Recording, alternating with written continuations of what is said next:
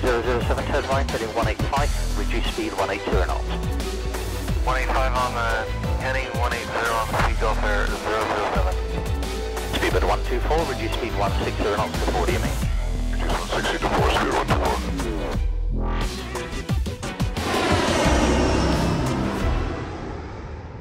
Hi there guys, Matt here. Hope you're all well. People are probably going to think I'm lazy for making this video and not a flying video, but I really don't have the time. We have world flight starting in just uh, uh, over a week, so the 1st of November. Plus, I have between now and then to move into my new apartment. It's a little bit hectic, and I apologize for the lack of videos. However, I decided that I would throw this together because it's something that quite a lot of you requested, and it is how to install EZdok in P3D version 2. Might work in version 1, not quite sure. At the moment I'm on version 2.3, which uh, the latest one is 2.4. I haven't had the time to update it, sorry. Still should work the same though. It's relatively simple. If you have it already installed for FSX, and you're trying to run it alongside FSX in P3D, you are going to have an incredibly easy time. If you are just solely using P3D and you need to install EZdok first, then the process is a little bit more complicated. However, this thing, this migration tool is your, oh, wrong one. This migration tool, should I say, is your lifesaver.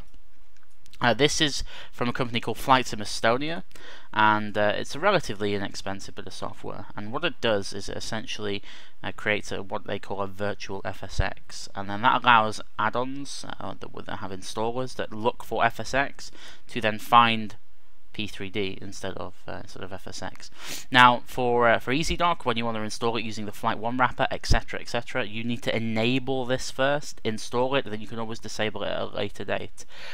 Once you've done that and you have EZdok in the right in the right place, so it's usually in C program files x86 if you're 64-bit, which you should be, you will find, uh, forget that this secondary exe exists, but you'll find the ezca.exe uh, in there and ready to rock and roll.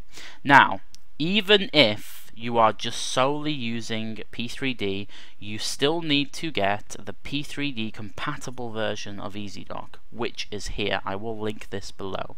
So basically, go to this forum, grab this. It's it's there. It's on this guy's post. He's the developer, I guess. I nearly sent him a private message. That was weird.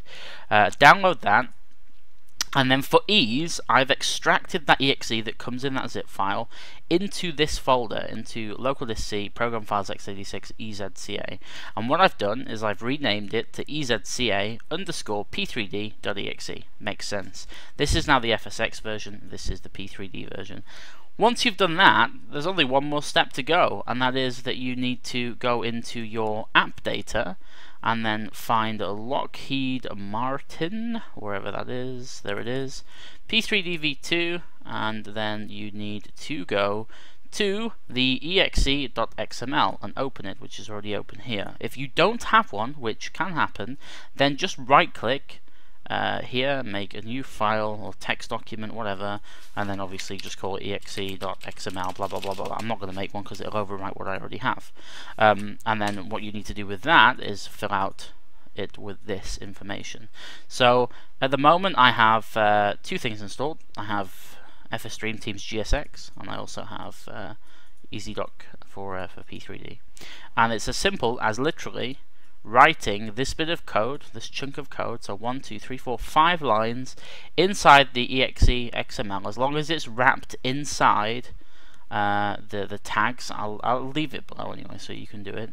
Um, and all you're doing is you're making sure that it's not disabled, which is you know you're saying it's false. You're giving it a name, which is EZdok, and then you're giving it a path, and the path is going to he says this exe.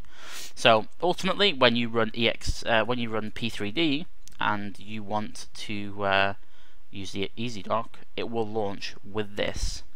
Okay, that is that's really it. That's that's that simple. Um, I will mention one thing. Uh, there is an EZdok configurator that you have to run when you install new aircraft. You need this tool for that to work. I have not found another way. Basically what you need to do is before you run the configurator, you need to enable the virtual FSX environment, then run the configurator, then disable it again. Otherwise it won't find the aircraft. So that is, this is a must-have really. Uh, there's there's no other way around it. I looked and you know, it's I, I hate making you you know spend unnecessary money but this is this is definitely uh, a must-have, and uh, I will leave the uh, the link for this below. So it's a three-step: download the beta, extract it, stick it in the exe.xml. Jobs are good, and then of course, if you need to use the uh, configurator, then you uh, you run this uh, F virtual FSX, then do it, then disable it. Okay, we're done quick five minute video. I hope you are indeed all well. I have a vlog out towards the end of this week explaining what is going on and the new ventures that I am taking in life and the way the channel is going to kind of mold itself into the new year. So look forward to that. I'm sorry I've been a bit quiet, but uh, it will all come together in the end. I, I do promise you that. It's very stressful, but I'm enjoying it. I wouldn't be doing it if I wasn't. Okay, until the next video, take care guys, and uh, I'll speak to you later. Bye bye.